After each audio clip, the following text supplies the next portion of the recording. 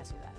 Bien, 8.40 en toda la República Argentina. En algunos minutos nada más, conferencia de prensa en la cancha de Boca del presidente, precisamente de Boca Juniors.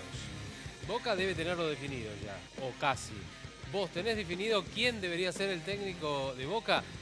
a Nacho hay una propuesta para aquellos que quieran votar en esta encuesta de C5N, ¿no? Los invitamos a que participen de nuestra red social arroba C5N y allí van a poder encontrar cuáles son las posibilidades para votar y a ver cuál es para ustedes la tendencia de quién debiera ser el técnico de Boca Juniors. Pero más allá de la encuesta, que ya la estamos viendo,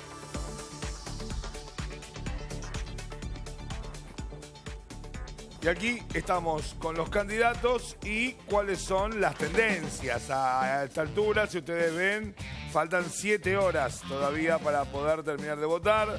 Guillermo Barros Esqueloto, a ver, tengamos en cuenta que es con su hermano Gustavo. Schiavi con un 13%, Marcelo Bielsa con el 17% y Alejandro Sabela con el 14%. A ver, vamos a hacer un repaso entonces Mm, de cada uno y a ver si podemos trazar alguna línea en lo que tenga que ver con las posibilidades.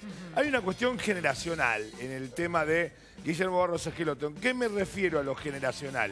Me refiero a que toda aquella camada gloriosa de Boca Juniors, para ponerla en un, en un coto entre el año 99 y el año 2007, en donde Boca Juniors ha tenido, bueno, casi una década dorada, con cuatro viajes a Japón, con cuatro Copas Libertadores de América, con dos Sudamericanas, con, bueno, con tantísima gloria. Todos los jugadores que hayan formado parte de aquel periodo, pues bien, siempre estarán en la, en la consideración para dirigir a Boca. Ellos encierran a Guillermo Borros Esqueloto, también lo tendrá Palermo, lo tuvo a, Robarrena. Eh, pensando en voz alta me quedan Caña, eh, que también es técnico.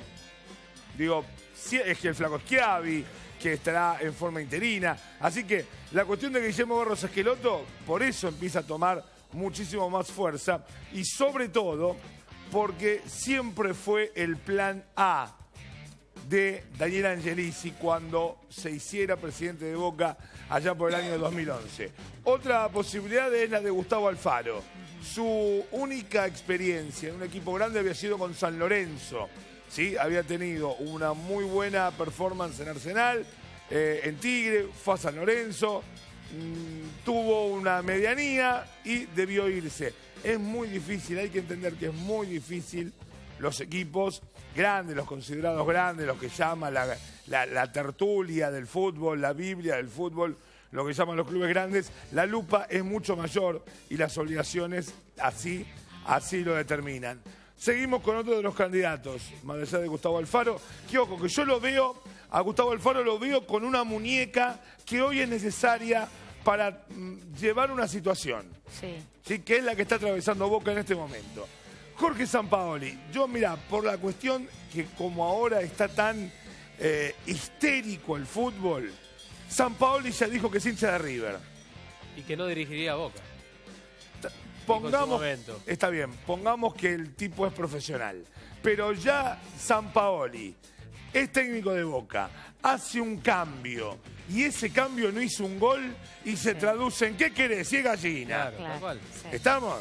Por más que haga todo bien, que labure, que se levante, se levante a las 6 de la mañana, que los jugadores lo banquen, que el esquema sirva, que gane, que empata con, empata con River. ¿Y qué querés si gallina? Listo, ni manera. Pierde con el Barcelona 3 a 2 con un penal robado. ¿Y qué querés si gallina? Claro, claro. Entonces estamos en una cuestión tan histérica del fútbol que no sé si Jorge Sampaoli pueda llegar a ser un buen candidato para dirigir a Boca Juniors. Y la última opción, ya aquí, Marcelo Bielsa dirige equipos socialistas, chicos. Marcelo Bielsa dirige equipos que se enfrentan al poder. Sí, no, iría para Boca, decís vos. No sé si no iría para Boca. Lo que digo es el concepto de Marcelo Bielsa. Hagan el repaso de los últimos equipos que, han, que ha dirigido Marcelo Bielsa y son equipos elegidos eh, tal vez deba ser un poquito más profundo el debate, pero son elegidos desde me paro en un lugar de pelearle al poder. Me paro frente a los petrodólares del PSG y agarro el Olympique de Marsella.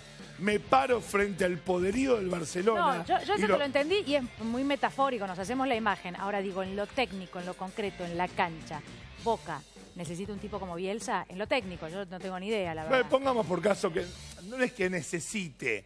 ¿Le viene bien? Sí, por supuesto. Por supuesto que sí. Pero me parece que es más pesado el concepto anterior que lo técnico. Aquí no es necesario. Boca Juniors tiene un plantel, Daniela, que no sabe, si te acompañan los resultados, lo dirigimos nosotros dos. Igual No, varios no técnicos que, que te tantearon de acuerdo a lo que dejó- se dejó entrever, después lo seguiremos analizando. Eh, muchos coincidieron, o dos o tres coincidieron, en que hay que limpiar parte del vestuario de Boca. Así que habrá que ver quién es el que acepta y qué condiciones pone justamente para aceptar el, el, este, el equipo. Así que después vamos a seguir, Nacho, y vamos a desandar porque quedan pocos minutos para la conferencia de prensa. Dale. qué, dice allí Angelici. Por Gracias, supuesto Nacho. sí. No, por